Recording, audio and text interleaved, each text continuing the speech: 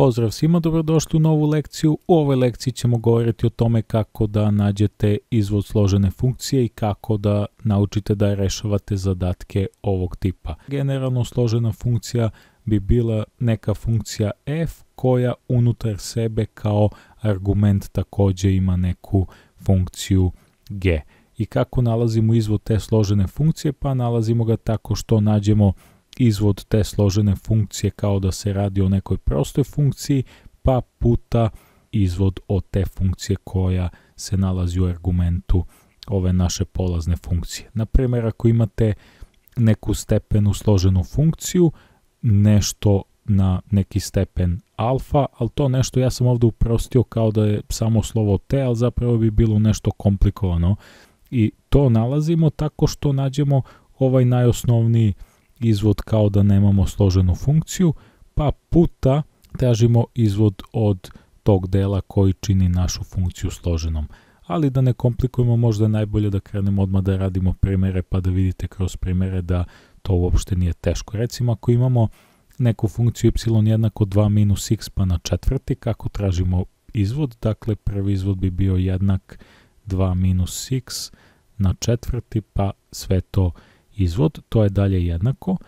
Dakle, mi znamo izvod za neku prostu funkciju, recimo kad imate x na neki nti stepen, to je po formuli jednako n puta x na n minus 1. A ovde nemamo x, nego imamo 2 minus x, znači to je nešto komplikovano, nešto što je složeno, dakle kao da imamo tu neko g od x. I kako to rešavamo? Pa rešavamo za početak tako što se po znacima navoda pravimo ludi kao da se tu nalazi neko jedno slovo, da se ne nalazi kao 2 minus x, nego kao da se nalazi tu neko t. Pa kao da tražimo izvod od tog t, kao da se tu meni nalazi t na četvrti. Dakle, kako bi to bilo? To bi bukvalno bilo kao da ja imam ovu zagradu, kao da se radi o jednom slovcetu, a ne da je ovako komplikovana, pa da tražim izvod od toga, pa puta tražim izvod dodatno od ovoga što komplikuje moju funkciju, dakle izvod od 2 minus x. To je dalje jednako. Dakle, ovaj prvi deo je bio kao ovo f' g od x, a ovaj drugi deo je g' od x. Sad ovde ovo rešavamo najobičnije po ovoj formuli, dakle to bi bilo jednako 4 puta u zagradi 2 minus x pa na treći i puta izvod od dvojke je 0 jer je u pitanju konstanta i izvod od minus x je 1. To je dalje jednako. 4 puta 2 minus x pa na treći puta 0 minus 1 je minus 1, dakle bit će puta minus 1 i to je dalje jednako. Sada ovo minus 1 kad pomnožimo sa četvorkom dobije se minus 4, dakle rezultat ovog našeg traženja prvog izvoda složene funkcije minus 4 puta puta 2 minus x, pa sve to na treći. Nastavljamo sa primjerima, sada ćemo uraditi primjer 2, ali pre nego što ga uradimo savjetujem vam da uzmete papir i olovku i da pauzirate ovaj video i da probate samostalno da uradite ovaj zadatak. Ajmo sada da vidimo rešenje ovog zadatka, nadam se da ste vi tako uradili na papiru, dakle izvod bi bio jednak 7x na 5 minus 4x na 8 pa izvod od svega toga. Dakle, prvo tražimo izvod od ove zagrade na osmi stepen. To će dalje po ovoj formuli dakle biti jednako, uzmemo da je tu n 8, znači kao da ovde umesto ovoga n imate 8, znači bit će 8 puta cela ta zagrada na stepen za 1 manje od 8. Dakle, 8 minus 1 je 7 i puta izvod od cele ove zagrade, dakle 7x na 5 minus 4x, pa izvod od toga.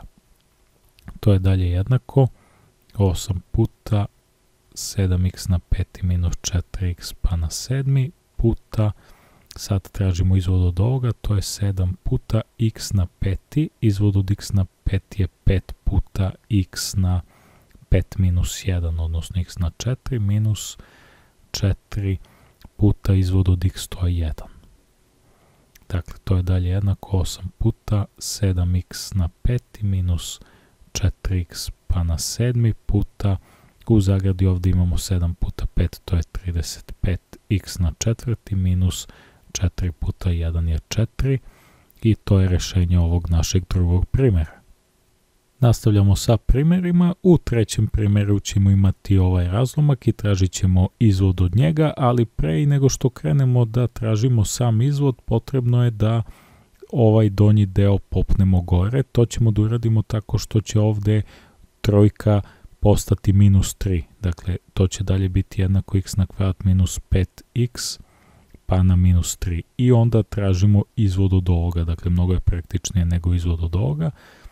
Sa razlomkom, dakle, y prim će biti jednako x na kvadrat minus 5x na minus 3 pa izvod od svega toga i to će po izvodu složene funkcije biti jednako prvo tražimo izvod od ovoga pa na minus treći. Dakle, to će biti minus 3 puta cela ova zagrada na minus 3 minus 1. Pošto koristimo ovu formulu, dakle, x na neki stepen je x, n izbacimo ispred zagrade, dakle, tu minus trojku izbacimo ispred zagrade, puta ta zagrada i puta taj stepen minus 1, dakle minus 3 minus 1 i puta ovde ova složena funkcija koja je bila x na kvadrat minus 5x i tražimo posebno izvod od nje. To je dalje jednako minus 3 puta x na kvadrat minus 5x na minus 3 minus 1 je minus 4 puta tražimo izvod od x na kvadrat, izvod od x na kvadrat je 2x minus 5x izvod od 5x je 5, pošto izvod od x je jedinica. Nema potrebe to da pišem i to je rešenje ovog našeg trećeg primjera. Ajmo sada da uradimo jedan primjer sa korenom.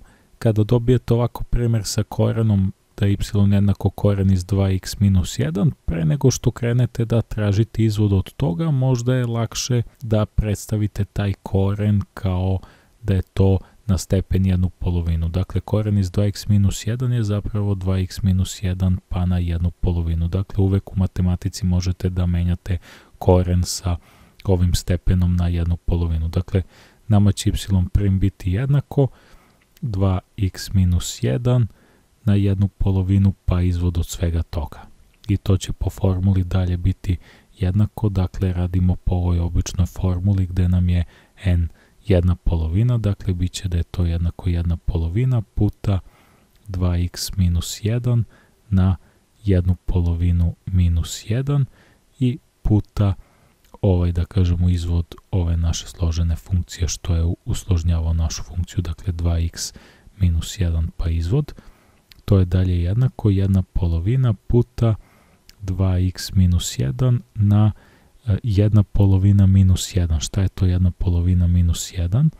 To je zapravo jedna polovina minus dve polovine, jer ovu jedinicu možemo napišemo u razlomku kao 1 kroz 1 i da proširimo sa 2. Jedna polovina minus dve polovine, to je minus jedna polovina.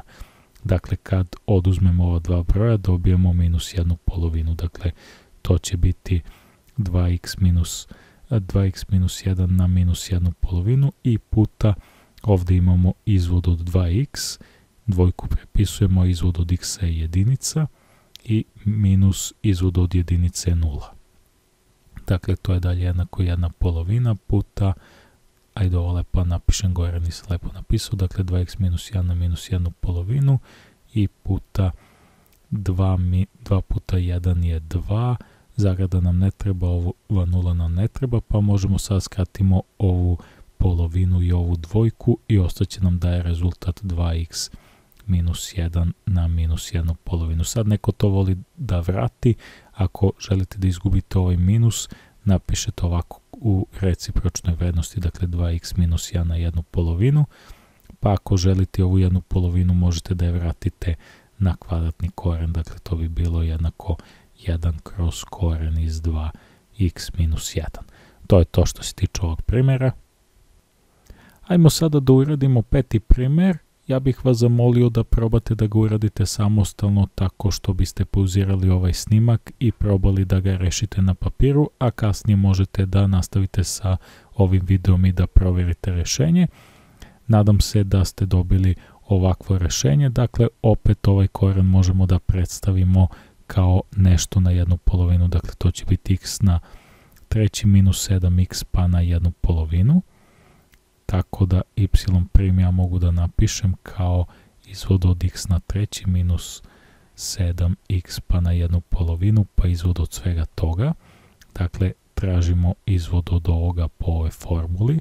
To će biti jednako jedna polovina puta x na treći minus 7x na jedna polovina minus 1 i puta ovo što čini komplikaciju da naša funkcija bude složena, dakle celu ovu zagradu od nja tražimo izvod x na treći minus 7x pa izvod. To je dalje jednako jedna polovina puta x na treći minus 7x. Uradili smo u prethodnom primjeru da je jedna polovina minus 1 zapravo minus jedna polovina puta Ajmo da nađemo izvod od x na treći. Izvod od x na treći je 3x na kvadrat minus izvod od 7x je 7 i to je dalje jednako. Sad ovo može malo nekako na neki način da se modifikuje, može i ovako da se ostavi rešenje. Možete da napišete ovako jednu polovinu puta, pa recimo ovde da izgubite minus, da to spustite dole u razlomak, dakle bilo bi 1 kroz x na treći minus 7x i puta 3x na kvadrat minus 7, pa sve to možemo da, ovde će ostati jedna polovina, pa sve to možemo da uvežemo u jedan razlomak, dakle gore će ostati samo 3x na kvadrat minus 7, dole će ostati dvojka, a umjesto ove jedne polovine možemo da pišemo koren, dakle to bi bilo 2 kroz koren iz x na treći minus 7x i to je kraj zadatka. Potrudili smo se da rešimo nekoliko primjera da vam pomognemo da savladate gradivo iz nalaženja izvoda složene funkcije. Ne zaboravite se pretplatite na naš kanal, vidimo se u narednoj lekciji. Pozdrav i sve najbolje!